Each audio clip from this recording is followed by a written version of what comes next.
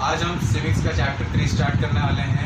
That is constitutional design constitutional design अगर हम first all word को ब्रेक करें तो हमें पता चलेगा it comprises of word that is known as constitution so first of all we need to learn what do you mean by constitution तो हम बात करें कॉन्स्टिट्यूशन की डिफाइन की तो वैन सेट ऑफ़ रूल्स अलग अलग रूल्स को जब कंबाइन करके एक पर्टिकुलर बुक या किताब के अंदर लिखा जाए that is known as constitution so अब हम बात करने वाले हैं हमारे कॉन्स्टिट्यूशनल डिज़ाइन चैप्टर की। Starting of the chapter we have story of South Africa South Africa में कैसे डिस्क्रिमिनेशन होता था, किस बेसिस पे होता था, और डिस्क्रिमिनेशन होने से हमें कॉन्स्टिट्यूशन का क्या फ़ायदा? है या उसे कॉन्स्टिट्यूशन के बारे में क्यों बताया गया? So starting with South Africa South Africa is a very big country but at that moment of time there was a system which was known as apartheid.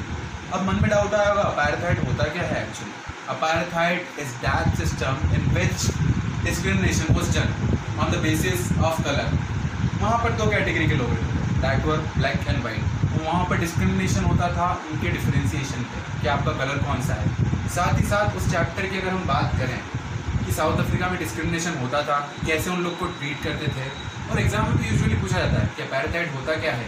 On what basis the system was done and calculated so that we should know each and everything very clearly क्या parathyroid कैसा system है, किसके लिए है discrimination हुआ तो क्यों हुआ, और उससे कॉन्स्टिट्यूशन कैसे बना साउथ अफ्रीका का? So now we are going to understand the apartheid system the system plays a vital role in South Africa so there are four basic points which you should know अगर apartheid system को समझना है तो that is सब to you अगर समझने का सबसे आसान तरीका I have mention short points अब हमारे अपैराथाइड सिस्टम की सबसे मेन इंपॉर्टेंट बात ब्लैक और वाइट के बीच में discrimination on the basis of colour caste तो इस कारण से अपैराथाइड सिस्टम जो जनरेट हुआ था, उसके बारे में डिस्कस करना है. So mark my words first apartheid system का first and the basic point was forbidden forbidden से हम क्या समझते हैं? Black were not allowed to go in the area where white थी ब्लैक जितने भी थे, वो वाइट जहाँ पर रहते थे, वहाँ पर जाना उनको अलाउ नहीं था। Second point segregation policy segregation policy was the main and the important factor on which the discrimination was done इसमें हम अगर बात करें तो सेग्रेशन पॉलिसी वो थी जिसमें particularly toilet bathrooms public places वहाँ पर ब्लैक और वाइट को साथ में रहना अलाउ नहीं था। थर्ड डिफरेंट चर्च यहाँ तो चर्च जो थे, जो गॉड की प्लेसेस थी they were also different for black and white black के लिए अलग थे वाइट के लिए अलग थे। द फोर्थ पॉइंट इज़ के नॉट प्रोटेस्ट ये सबसे इंपॉर्टेंट पॉइंट है जिसमें हम नेल्सन मंडेला जी की भी बात करने वाले हैं। सो so, अगर हम बात करें तो वहाँ पर प्रोटेस्ट करना अगर ब्लैक अपनी कम्युनिटी के साथ में प्रोटेस्ट करती है तो that was not allowed and on the other end for protesting Nelson Mandela was also sent to jail so आगे अगर हम बात करें तो हमने इतना तो समझ लिया है कि पैराडाइट सिस्टम में हो क्या रहा। पर इतना कुछ होने के बाद में भी लोग वहाँ के खामोश नहीं रहे। कौन लोग?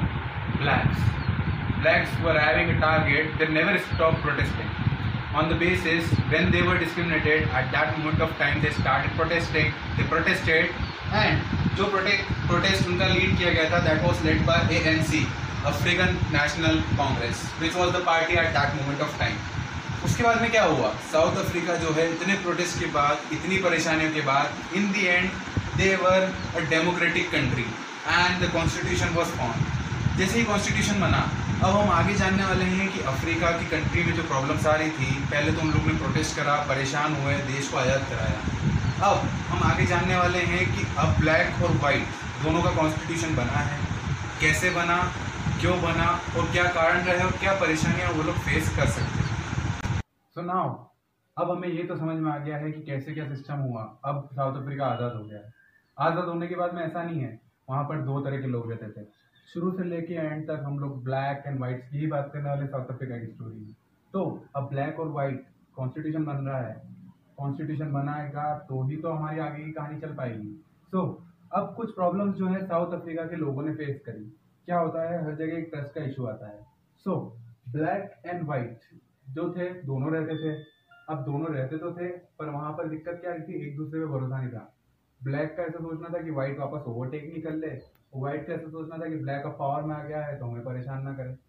सेकेंड बेसिक प्रॉब्लम ब्लैक जो थे वो मेजोरिटी में थे। So in that scenario white were scared कि अब हमारे हाथ से ताकत जा चुकी है। अब अगर किसी ब्लैक ने हमें परेशान करा तो कैसे क्या काम चलेगा?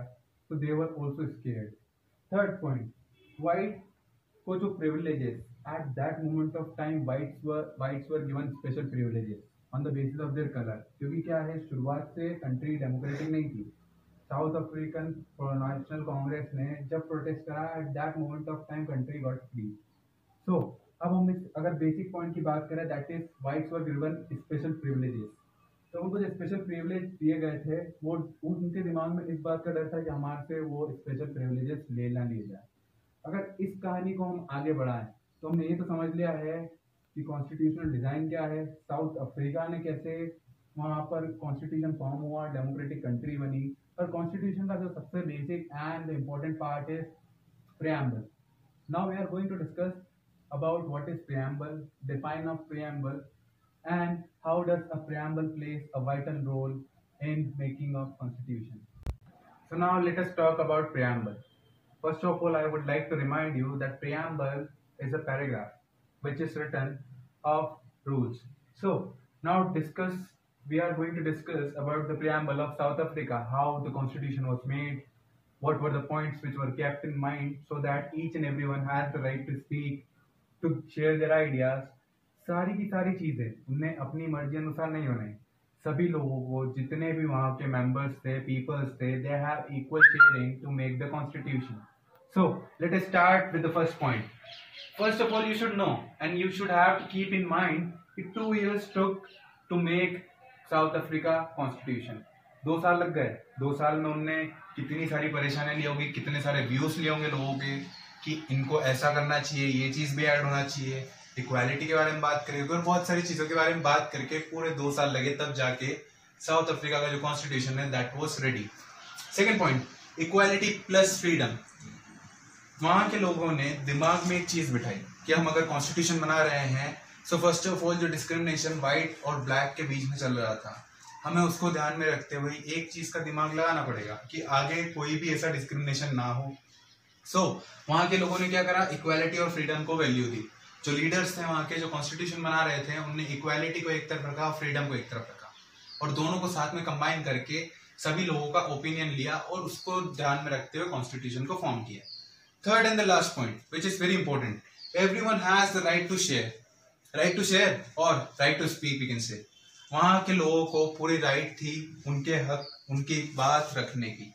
वहाँ के जितने भी लोग थे, सबने मन में सोचा, जो भी उनके व्यूज़ थे, जैसे प्रैक्टिकली लाइफ में अगर आज की बात करें हम तो हमें जो परेशानी होती है we are living in a democratic country India is also democratic country so we go and share our thoughts with the government so that they can solve our problem वहाँ के लोगों ने भी क्या करा? At the main time at the mean time और we can say peak time when the constitution was made each and every one has the right to share their thoughts the views to make the constitution and so the constitution of South Africa was made so now I hope कि आपको चार चीज़ें basically समझ में आई होगी। Constitutional design क्या होता है? साउथ अफ्रीका में प्रॉब्लम्स क्या फेस करी अपैरथाइट सिस्टम क्या था, वहाँ पर कॉन्स्टिट्यूशन कैसे फॉर्म हुआ, और प्रियम्बल क्या होता है साथ ही साथ। So thank you so much guys for watching the video I hope you have the idea of the South African constitution and in second episode I am going to tell you the further and the most important details of constitution thank you so much for your time guys